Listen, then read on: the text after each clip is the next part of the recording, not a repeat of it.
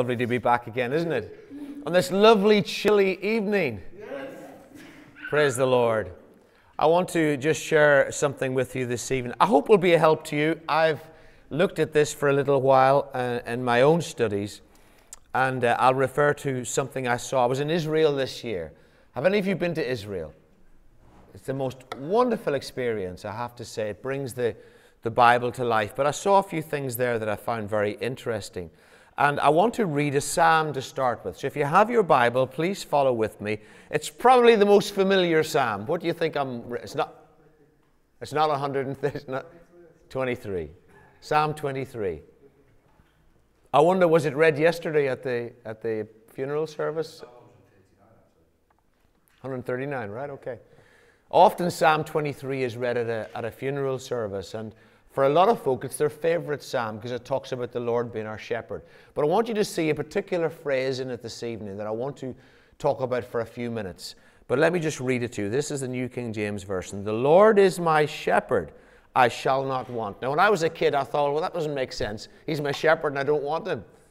Uh, uh it's obviously, I shall not be in want. The Lord is my shepherd, I shall not want. He makes me to lie down in green pastures. He leads me beside the still waters. He restores my soul. He leads me in the paths of righteousness for his name's sake. Yea, though I walk through the valley of the shadow of death, I will fear no evil. For you are with me. Your rod and your staff, they comfort me.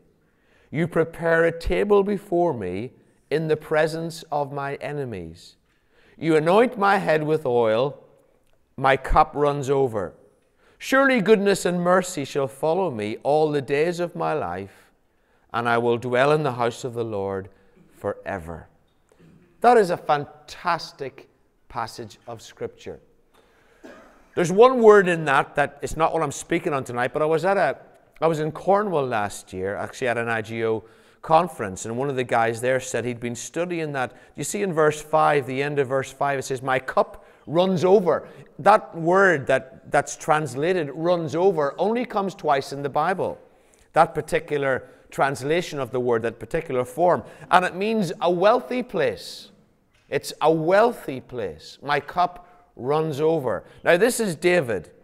And David wrote most of the Psalms. He was a psalmist, probably the greatest worship leader that ever lived. And uh, he wrote some incredible words.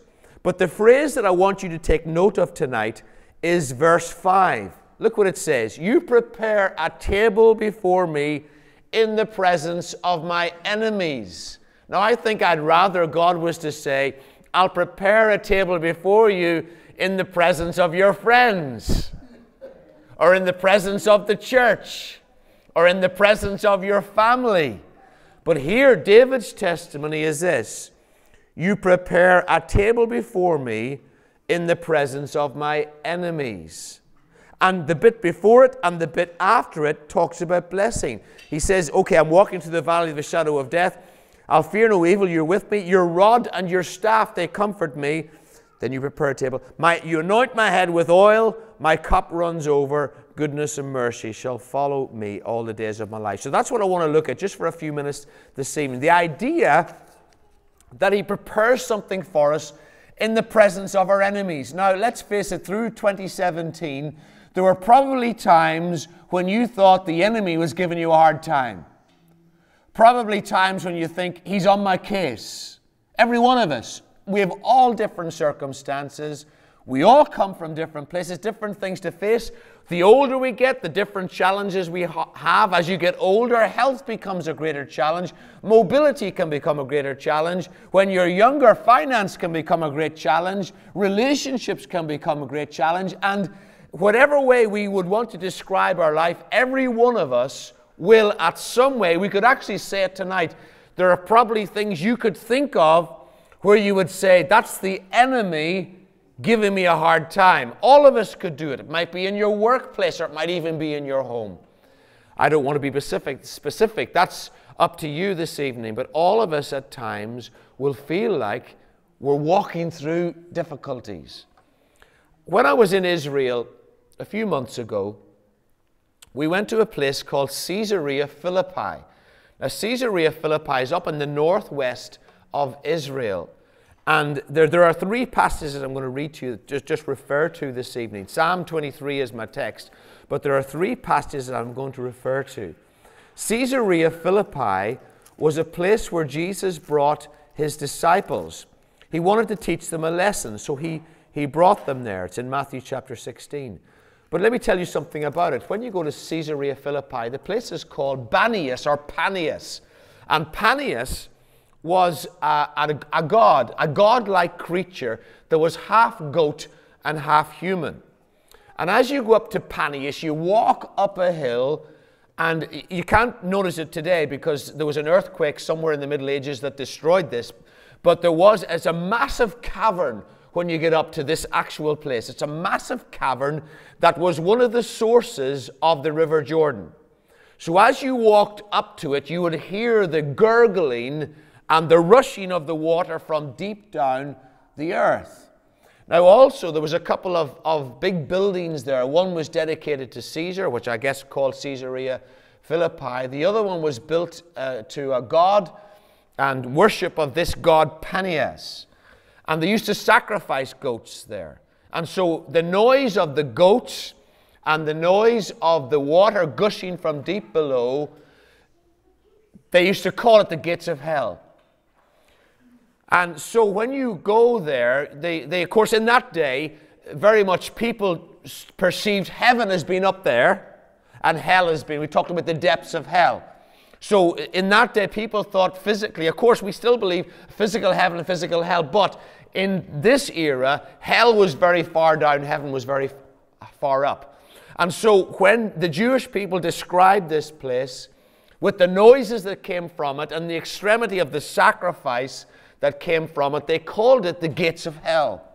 So no Jewish boy would ever have been there. They just wouldn't be allowed to go to it. It was, it was a no go area.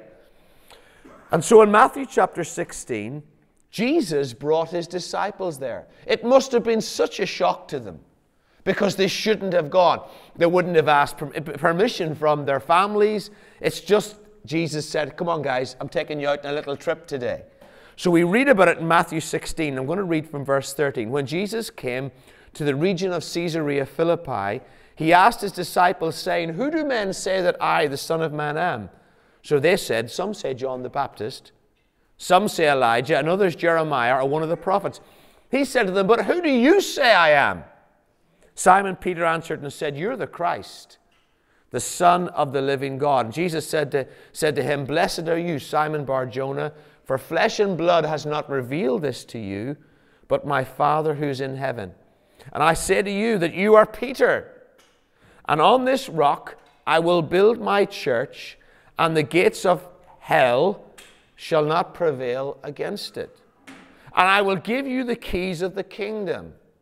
And whatever you bind on earth will be bound in heaven. Whatever you loose on earth will be loosed in heaven. So here's these guys who should not have been there to their own understanding, and Jesus brings them right into enemy territory and he gives them a revelation. He starts to speak about the church, how the church actually was designed not to defend, but was designed to attack the gates of hell. And it was designed to take back what the enemy had stolen. So you are here in this town here in Cheadle, not to defend, but actually to take back what the enemy has stolen. Because it's the enemy who is the one who is the trespasser. The enemy is the one who seeks to steal, kill, and destroy. But Jesus has promised people in Cheadle that they can have life and have it more abundantly. And that's why he's raised you up here. But the interesting thing for me is Peter. When you think about Peter, Peter was an amazing character, always putting his foot in it, of course. But he was an amazing character. Peter was the one who, just a couple of chapters earlier, walked on the water. Nobody else had ever walked on water, but Peter did. Peter was the one who, do you remember when they asked, should they pay taxes to Caesar or not? Jesus said, hey, where you go, catch a fish, open its, prize open its mouth, you'll find a coin in there. I mean, that's crazy, isn't it? So Peter gets a coin to pay his taxes. Peter's one of the ones, along with others, who saw the water change to wine. Peter was one of the ones, along with others, who saw the five loaves and the two fish feed a multitude. So when you look through the story of Peter, you'll find that it's a, a revelation after revelation. But isn't it interesting that it's in this place, in the camp of the enemy, where he finds out who he really is? And so, in the presence, in the enemy's camp, that's where Peter found his identity. And what I want to suggest to you this evening is that actually, rather than it's not really in church or when we're in fellowship, but we really find out who we are in God when we're put with our head against the wall we're put in, our, in, a, in a, a hard place. That's when we discover who we really are. It's when the guys make fun of you at work. It's when you're given a hard time by the girls in the office. It's when your family think that you've lost it by going to church or whatever. That's when actually we discover who we really are. So in 2018, you may find that God brings you or takes you into what seems to you to be the enemy's camp. And what I'm suggesting to you tonight is that we don't throw up our hands in horror and bind everything that flies around the place and say, Oh, I can't wait to get out of this. Maybe God has brought you there because He wants to actually reveal something incredible to you in the enemy's camp. So, in the enemy's camp, you find your identity. We don't want to be in the enemy's camp, but I find my text is this that, that Jesus prepares, or God prepares a table before us in the presence of our enemies. So what we've got to, we've got, what we've got to learn to do as children of God is not, not learn how to flee the enemy, but learn how to feast even in his presence. Because the presence of God is stronger than the presence of the enemy. And when we're in the enemy's camp, God is still there. He's still with us. Now, I find that very encouraging because maybe we're all going to face some challenges in 2018. Be encouraged. Cheer up. the second one is in 1 Kings chapter 17. It's another place that I passed when I was in Israel. I passed, I passed a place called the Brook Cherith. What happened at the Brook Cherith? Who, what prophet do we think of when you hear the word the Brook Cherith? Elijah. What happens is Elijah he was the prophet in Israel, and there was a wicked king. And the wicked king was called Ahab, one of the most wicked men that has ever lived. And King Ahab had an even more wicked wife. What was her name? Jezebel. She's still used as a byword for women that aren't too good. Jezebel. You Jezebel. And this, this family were really bad news for Israel. So, what happens is in 1 Kings and chapter 17 is that here we have this guy Elijah, and Elijah has proclaimed that there won't be rain for three and a half years. And so there's, there's going to be a famine in the place because you know rain, nothing else is going to grow either.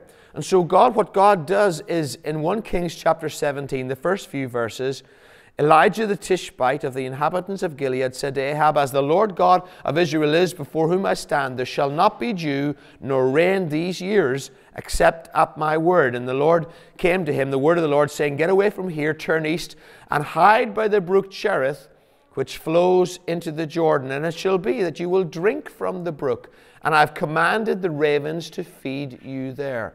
And so that's what happened. He was feeding there. Look at verse 5. So he went and did according to the word of the Lord, for he went and stayed by the brook Cherith, which flows into the Jordan. The ravens brought him bread and meat in the morning, and bread and meat in the evening. By the way, the ravens, the greediest birds that there are.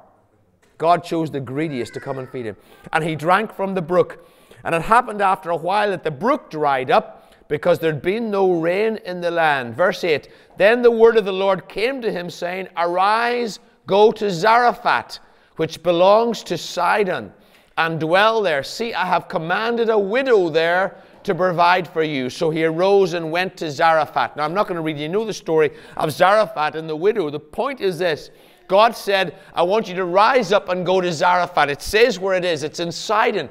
Sidon was on the Mediterranean coast, still on the Mediterranean coast, that area just over uh, by that big sea. And where, where Zarephath was, was 85 miles away, approximately. And there are no buses, no taxis. He had to walk 85 miles. Now, here's the interesting thing for me is Sidon, the king of Sidon, his daughter was called Jezebel. And the king of Sidon was the number one, if you like, in the whole nations who were the worshippers of Baal. And so the king brought his daughter up well to love him and to love their evil God. And her plan was to destroy Israel, but by making them worship Baal.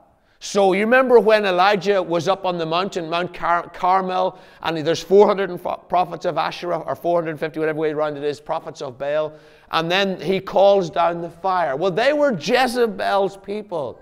Jezebel was the one who raised up worshippers for Baal or Baal, depending on how you pronounce it. She was an evil woman, but her dad started it. Her dad was also an evil man. And the center of this evil worship was in Sidon. Zarephath was in Sidon. Now, here's the point. Here's this guy, Elijah. Elijah's hungry. Well, he's, he's not. I suppose he's eating the bread and the, the meat brought by the raven, so he's okay. But he's run out of water, so he's, he's thirsty. God says, Right, I want you to go from here now, if you, if you were negotiating with God, I think I'd have said to him, okay, God, where do you want me to go? You're going to go and you're going to provide me something to drink. Uh, well, I'll, I'll go down to the local KFC or whatever, or wherever it is you can provide for me. God says, I'm going to send you to Sidon. I'm going to send you, not only am I going to put you to 85 miles you have to walk, but I'm going to put you right into the home ground of the lady who wants to kill you. You're going to go right to her house. Can you imagine Elijah might have had a problem with that? I mean, if you want to escape the enemy, where are you going to go? If, if the Queen of England, away uh, in the old days, or the King of England wanted to destroy you, you're not going to get a bus to London. You'll go over to Ireland or somewhere where it's safe. But God sends him right into the enemy territory. And when he goes there, this lady, God says, I've commanded a widow to feed you. Where?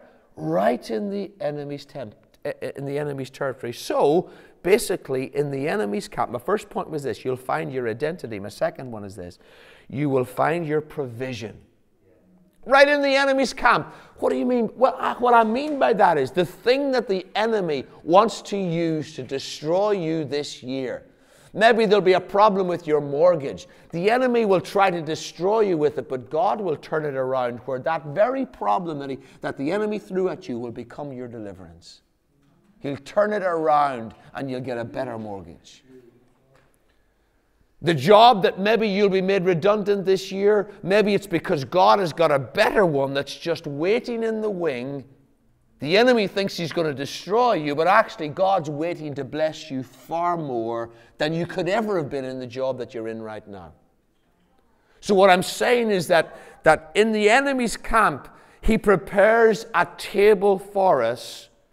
And what we have to learn to do, what I have to learn to do, is to enjoy the presence of God where I am, not constantly give him a list of where I want to be but to enjoy His presence in the circumstances that I'm in right now, even though those circumstances might not be the way that you would draw them up if he gave you the plan that, you know, said, right, I want you to write where you'll be. Because all of us would do it different.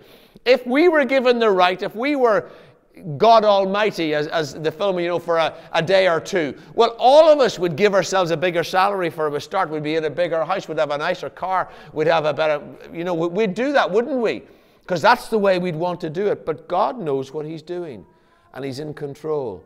And He wants us to learn how to feast at the table of the Lord that's set right now in the presence of our enemies.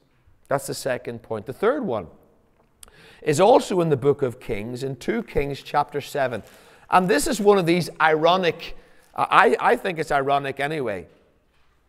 When you read through it, it's the story of the lepers. There's a, the Samaria is sieged, and there are some four lepers outside the city, and they're dying.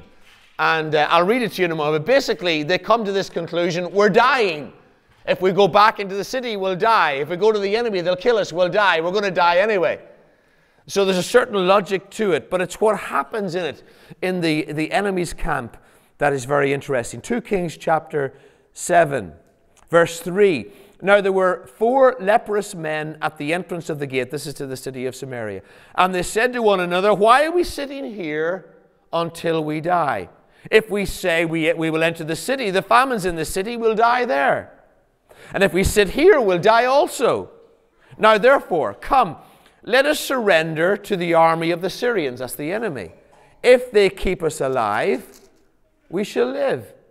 If they kill us, we shall only die. It's a great logical, isn't it? Isn't that lovely? And they rose at twilight to go to the camp of the Syrians. And when they had come to the outskirts of the Syrian camp, to their surprise, no one was there. For the Lord had caused the army of the Syrians to hear the noise of chariots and the noise of horses, the noise of a great army. So they said to one another, Look, the king of Israel has hired against us the kings of the Hittites and the kings of the Egyptians to attack us. Therefore they arose and fled at twilight and left the camp intact, their tents, their horses, their donkeys, and they fled for their lives. And when these lepers came to the outskirts of the camp, they went into one tent and ate and drank and carried from it silver and gold and clothing and went and hid them. And then they came back and entered another tent and carried from there also and went and hid it. Then they said to one another, We're not doing right. This is a day of good news. And we remain silent. If we remain until morning light, some punishment will come upon us. Now, therefore, come, let us go and tell the king's household. We'll stop it there. Usually, I've heard this preached on many times and, and, and about the evangelism, but what I want to refer to here is that they went to the enemy's territory. And in the enemy's territory, God had set up a table for them right in the enemy's camp. And so they went there expecting to be killed, but they knew they were going to die anyway, so they may as well be killed. And there's a chance that the enemy would let them off. So they went, and God had turned it around. So, my third point is similar to this morning that in the enemy's camp, you'll find your hope. Right in the camp of the enemy, you will find your hope. So, this year, throughout this year, with all the circumstances that come upon us, wouldn't it be amazing if God took all the difficulty that He had, that we think are difficulties? So, for, what do we think are difficulties? One of the things we find hard is telling people about the Lord. We find it hard to do that. Wouldn't it be amazing if your employer, who you are praying for, who you think is obnoxious, but actually he's been waiting, and you tell him, you take up, pluck up your courage one day and tell him, and Suddenly you find that God's been working in his life. And he's been waiting for that moment to somebody to say, to tell him and give him the answer.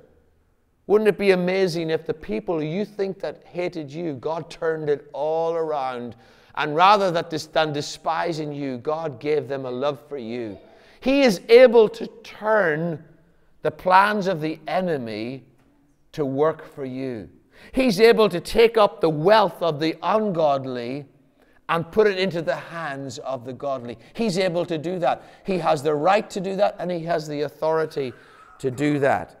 So when I was planning, if you like this, in, in preparing this message, my thrust was this. Sometimes we, we look at our Facebook or we look at our Instagram or whatever social media any of us are affected by, and I discovered over this last year, people are very angry on Facebook. And we can get very angry. We tend to unfollow. My wife and I share a Facebook page, and we just unfollow people who are angry because we don't want to get angry. Because you could actually find your blood pressure going up just by before you get out of bed in the morning if you turn your phone on. I don't before I get out of bed, but if you did, you could find yourself having angry conversations before you even have your breakfast. How many of you know that's true? It is possible. But we can get angry over things that happen, and we won't, it won't change us. It won't change the circumstances, just gets us a bit more depressed than we started the day off. When God wants us to learn how to feast at His table, even if it's in the presence of our enemies. Some, I mean, I, I'm, I'm first to admit, I think some of the things the government do are pure stupidity. I think some of the things going on are ridiculous. But I find myself getting agitated by it.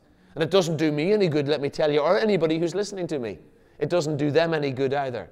And I don't post any of that sort of stuff on Facebook because you'll get a lot of angry comments if you did. When the whole thing in America over Trump and Clinton and all that went on, we kept off the face. I didn't post anything on Facebook, even though I have my opinions about it. Oh, whole Brexit thing here, if I had put on about Brexit what I thought about it, we would have lost half my family. And because it divided people so much, you know that. It was very, and people do that on social media. What my thrust is this is that whatever winds you up, and it can be good things or bad things, is we can, we can act so fleshly and we can respond to what motivates us or what gets us, what rocks our horse, for another expression. But what I'm suggesting is this is that actually throughout this year, there will be times when you and I are brought right into the camp of the enemy. And I have to learn in that place to be able to sit down at the table and feast in the presence of the Lord. I have to know what it is according to Psalm 23, to allow Him to anoint my head with oil and to see my cup overflowing right there in the presence of my enemies. And that's the promise that He wants to give us this evening. It's not that He doesn't want circumstances to change, and it's not that He cannot change circumstances, but I discovered probably the biggest secret I've discovered is that my problem, my biggest problem in life, is me. By far. That's my biggest, it's not my wife, it's not my children, it's not my finances, it's not my car. My biggest problem, and God's biggest problem in my life, is me. And so it's not my circumstances that need to change. They will change. They'll come and they'll go. There'll be sometimes this year when you're you look at your money and you'll think, wow, I didn't even realize I had that. I hope it happens to you every week. But there'll be other times and you'll think, oh my, it's near the end of the month. Sweetheart, I don't know how we're going to get through this month. Or the, the, the, dishwasher breaks down, the washing machine breaks down, and something that you, you've had those days, you know, when you think, oh Lord, I can really do without this right now. But in the midst of all that, I have to learn that it's me he's trying to change. So that he can say to me, Kingsley, would you shut up and just sit down in the presence of the Lord, sure, but also in the presence of your enemies and learn how to commune and to fellowship with the King of Kings right in the presence of circumstances that I would not choose.